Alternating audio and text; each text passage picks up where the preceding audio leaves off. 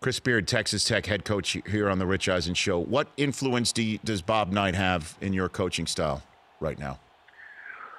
Oh, a lot. I mean, my my years with Coach Knight and Pat, uh, you know, were special. It's like I said it earlier this week. It's just so true. It's like giving a PhD every day, you know, in coaching, uh, whether it be in practice or the meetings or, you know, just watching Coach and Pat on and off the court. So, um, you know, I'm really proud of my association with Coach Knight. I think you know, at the top of that list, all of our guys graduated.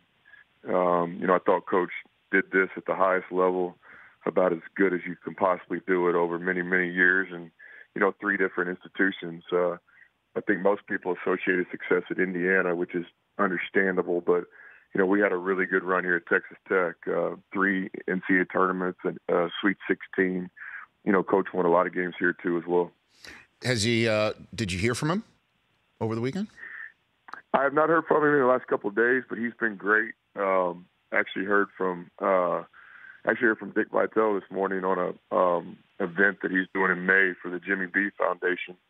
Um, and he had mentioned that he had talked to Coach maybe even earlier today, and Coach said some great things about our team. So he's been like unbelievably supportive uh, since we came back to Lubbock, and um, it's just been a blessing, you know, having him around. We got one of uh, Coach's former players, Daryl Doors, a graduate assistant on our staff, working towards his master's degree, and um, Daryl stays in touch with him often. But Coach has been nothing but supportive.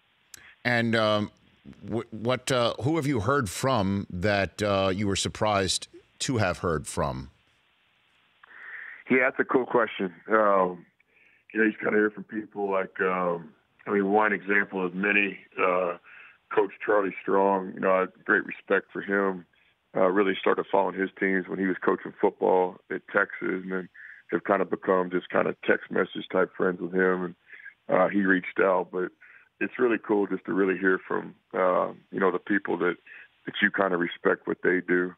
Um, you know, another example would be Dez Bryant. He's an old Big 12 guy, hasn't played at Oklahoma State, and he said some great things about our team these last couple of days. So uh, March is special for so many reasons, but you know, to hear from some people that you probably wouldn't hear from on a normal Monday is pretty cool. The Rich Eisen Show, weekdays at noon Eastern on Audience.